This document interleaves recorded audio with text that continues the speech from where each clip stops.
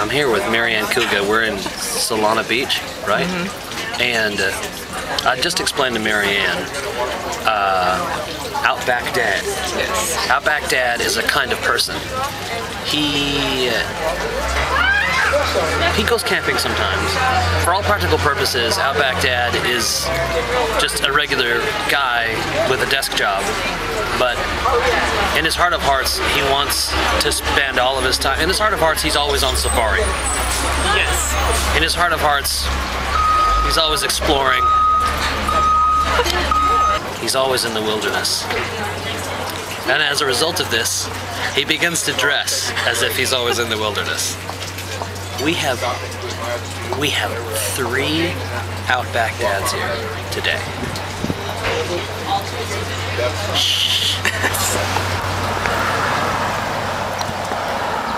Now, basically, you have to look for safari clothing. Outback dads always have an incredible safari hat, which we have here on this gentleman. Um, and then in this case, a lot of denim clothing, rough clothing for going out being in the wilderness. Now here come the really good ones. But they're facing us. And again, here we have the hat on this gentleman and then an incredible safari jacket coupled with uh, a nice leather uh, satchel. This feller here, amazing uh, outback shirt and khaki shorts. Great feather in the hat there. We also have a, an outback dog to help them find food in the wilderness. I think maybe he knew that we were taking a picture. Maybe. I feel really bad, but that's Outback Dad.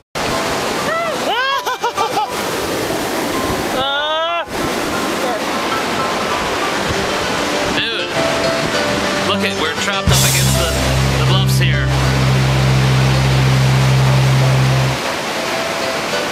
This is Marianne's idea, which is a perfect idea. Always forget, like, I live next to the water and I, never even come down to the water. We're in San Diego today, but.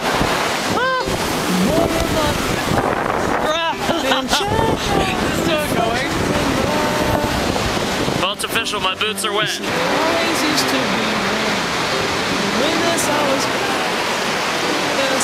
That's where we gotta go. But we gotta go there before that happens.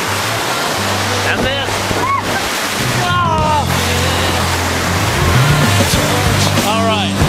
Or maybe it's just not going to matter because we're going to be too wet anyway. We're about to go for it.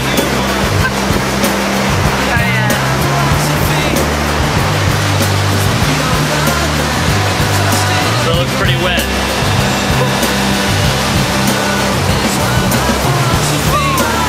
The problem is that we have all